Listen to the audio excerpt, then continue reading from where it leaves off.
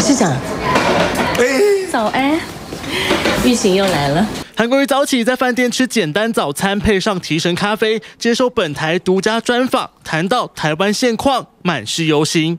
经济的阿拉伯数字反映了真实的情况，我们台湾的经济真的不行啊，真的不行。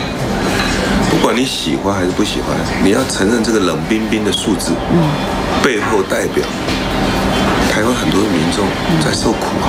这二三十年来，真的是在鬼混。韩国瑜点出台湾最大问题就是经济不好，也直言三位读法律的总统把台湾经济搞成残废。三位台大法律系全台湾最优秀的人才，怎么三个台大法律系干的总统把台湾的经济搞成残废了？经营真的太久之后，脱离了基层民众所思所想，他没有办法真正很细腻的观察到。老百姓过得很苦。韩国瑜话说的直接，因为从他参选高雄市长以来，接触基层，倾听民意，感触很深。我真的可以体会到基层民众是真的是世上苦人多。民了很多选举的时候，他是用恐惧来获得选票，让台湾人民害怕，对，害怕国民党，害怕共产党。是，但是民进党从来没有说拿到政权之后，我真的立下志愿。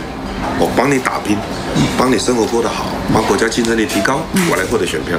没有，韩国瑜所思所想都是广大台湾老百姓。他知道政治摆一边，全力拼经济。但当被问到是否参选二零二零，还是老话一句：二零二零截至目前都不在考量之内。我没有这么厉害，两年前我才在卖菜而已。